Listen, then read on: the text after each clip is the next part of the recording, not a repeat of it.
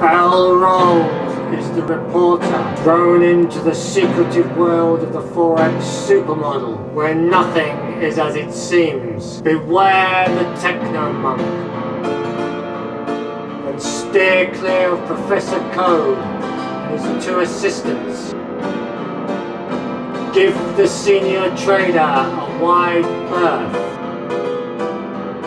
And don't expect any sense from the risk manager.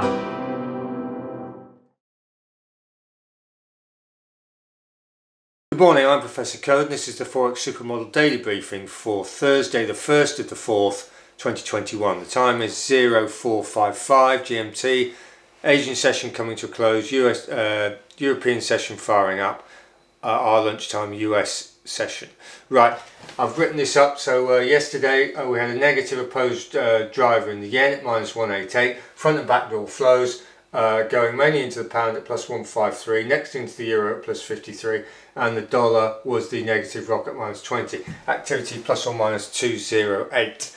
Intra-week then becoming more relevant. This is from Monday the 29th, open to about 15 minutes ago. We've got it again. We've got a negative opposed driver in the yen uh, at minus 240. Front and back door flows mainly going into the pound at plus 165, the dollar at plus 154 and the euro was the negative rock at minus 79. Activity plus or minus 319. Intra week then uh, this is what's happening in the Asian session to about 15 minutes ago. We've got a, a positive uh, opposed driver in the yen this time, plus 29, front and back door flows, mainly coming out of the euro at minus 25, out of the dollar at minus 10, and the pound is the positive rock at plus 6, activity plus or minus 35. Right, we're going to stop it there because I have to go out uh, today early, uh, so I'm going to write it up just to save time. Don't go away. Right, welcome back. What's going to knock those flows about today? Well, um, Thursday early we've had uh, the first, we've had trade balance which has been slightly negative for the AUD, uh, imports up, exports down, China PMI soft but above 50, um, and later today we've got German uh, retail sales, US PMIs, and Friday we've got NFP. The OPEC's decision to, is later on today for their meetings. Biden's uh, uh, uh um, uh, was an infrastructure plan that was uh, was out yesterday. Market holidays in Asia, Singapore, Hong Kong, New Zealand, AUD. So bear that in mind. Right. Okay. These are the flows then. So in the full complexes, euro is strong except against the dollar, yen, and the pound. The yen is strong overall. Uh, the pound is strong except against the yen.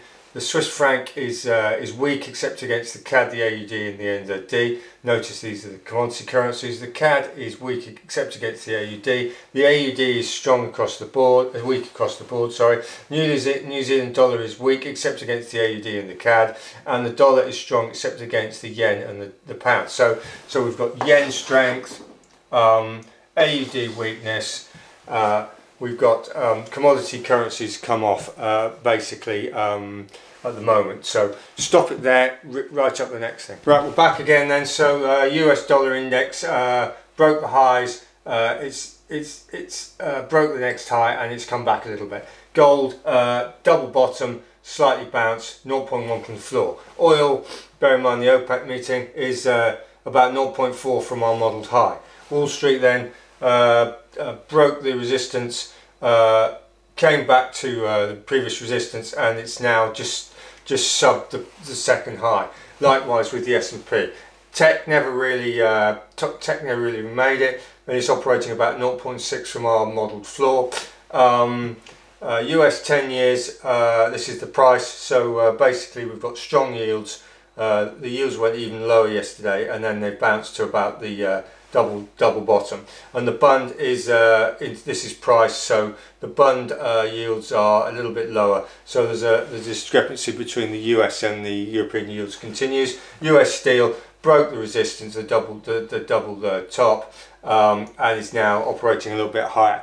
Right so uh, let's just finish off then. Um, our trades have improved. We we're about 2,500 points uh, up now again we've added uh, a couple of positions um, the the only different one we've added is we've got one one times long uh, pound pound dollar. So we, we're long pound dollar, we're long AUD uh, dollar, and we're short NZD against the euro, the pound, the CAD, and the AUD. Right, so there are trades. We uh, it's been pretty gutty trading those, pretty pretty wild, but we've been in profit generally. Um, we're, these are medium medium term trades. We're expecting them to, to improve. So uh, hope that was useful. Sorry it was uh, stop started,